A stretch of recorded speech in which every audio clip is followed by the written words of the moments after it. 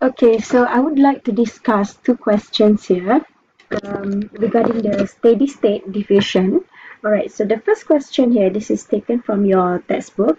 The question says, the purification of hydrogen gas by diffusion through a palladium sheet was discussed in section 5.3. Compute the number of kilograms of hydrogen that pass per hour through a 5 mm thick sheet of palladium having an area of 0.2 meter squared at 500 degrees Celsius. Assume a diffusion coefficient of uh, this, this is the D, alright? This is the diffusion coefficient.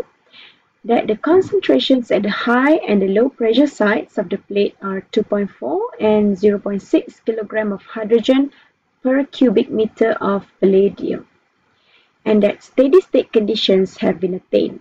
So when you see steady state here, automatically you know that you can use Fick's law, alright? Okay, so can you imagine there's a palladium sheet. This is a palladium sheet. And um, the hydrogen gas is passed through this sheet by diffusion, alright?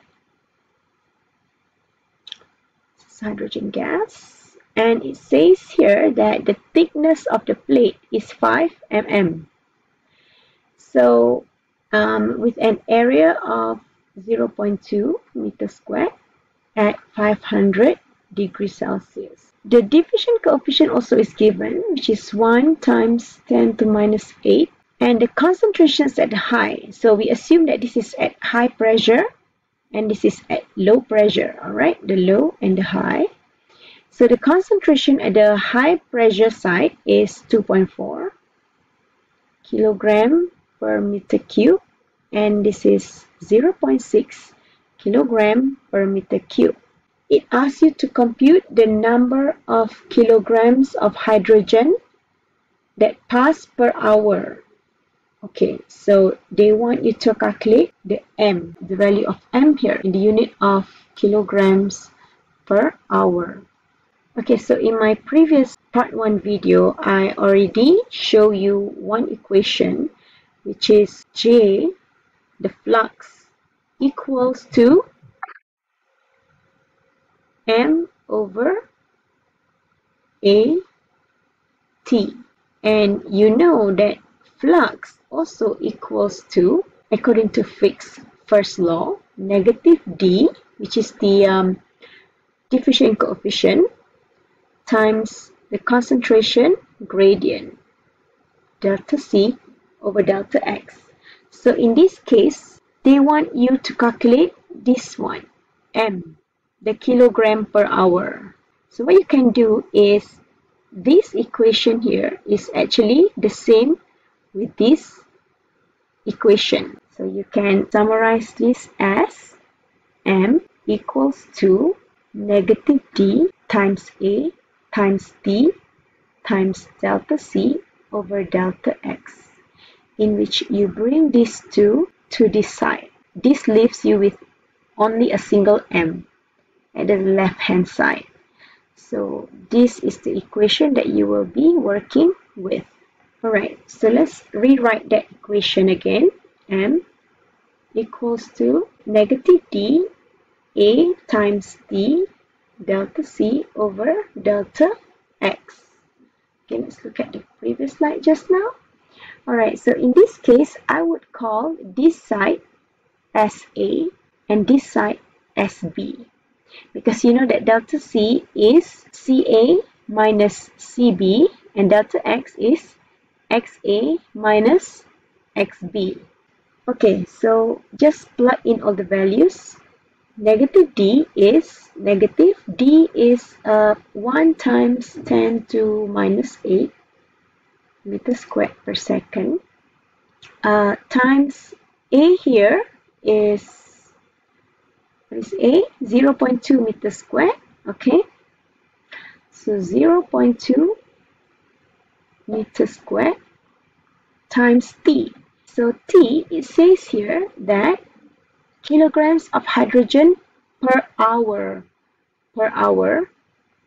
So the unit here is in second. You need to convert uh, second to hour in which 3600 second per hour. So it has to be per hour, okay, to cancel out all the seconds.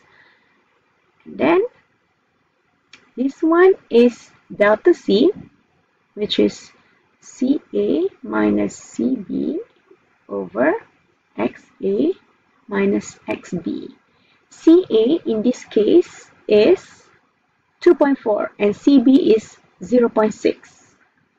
So this is 2.4 minus 0.6 kilogram per meter cube divided by XA minus XB. XA here, okay, because you know that the hydrogen gas, it diffuses, starts from here.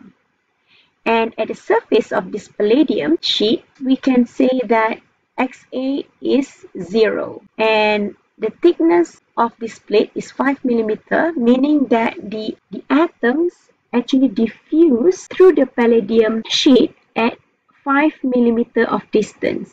So XB here is 5 millimeter. So XA is 0, XB is 5. So let's just put it here. XA is 0 minus 5 times uh, 10 to minus 3 meter.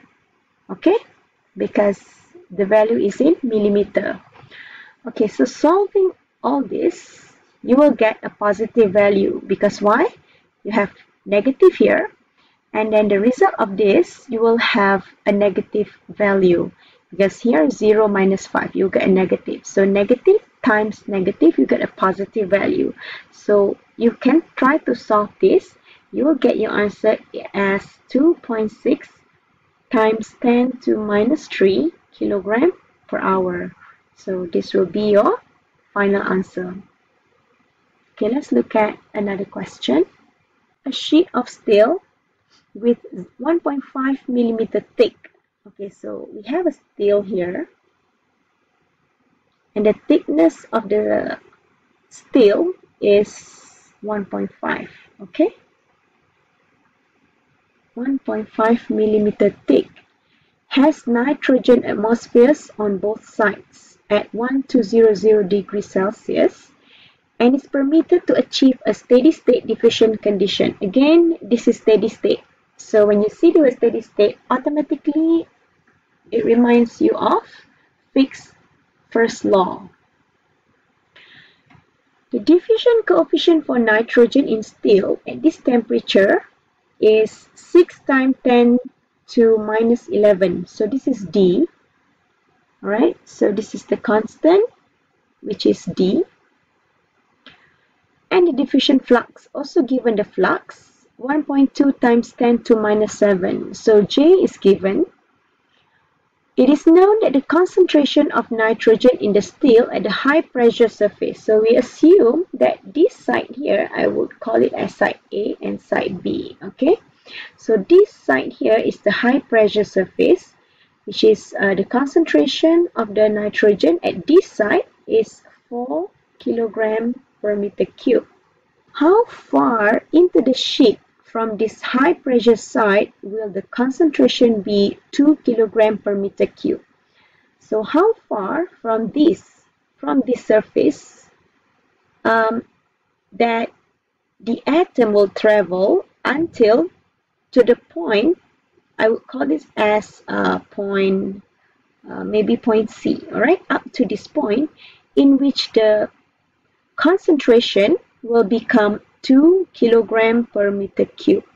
So in this case, you are given a flux, you are given the D, and you know your CA. Okay, so in this case, uh, let me just change lah. All right, I would call this B, easy understanding, and this is C. Okay, so CA, uh, A is given, CA is given, which is 4, CB is also given, which is 2 kg per meter cube. This is B. And XA is here and XB is here. This is where what you want to find out. The distance traveled by the atom from this point before diffusion and after diffusing into this sheet of steel, but only up to this point. So they only want to know the distance that they travel, the atoms travel up to this B point only. So XA you can assume to be zero because it's at the surface. So this is like zero millimeter up to this C point is 1.5 millimeter but up to this point, this B point, how many millimeter? Okay, so this one is known, this one is also known, this one is known, this is the unknown. Okay, so you can rearrange this into this equation. Okay, just transfer xa minus xb and j, uh, exchange, exchange the place. So it's like uh, j equals to negative d CA minus CB uh, divided by XA minus XB. So you just exchange the places between J and XA. So XA minus XB equals to negative D. CA minus CB, okay, um, in the bracket, and this is uh, J. So you would like to know what is the value of XB. Here, negative xb minus equals to negative xa minus d, ca, cb, and j.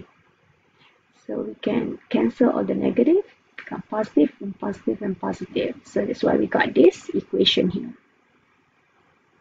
Right, from this one.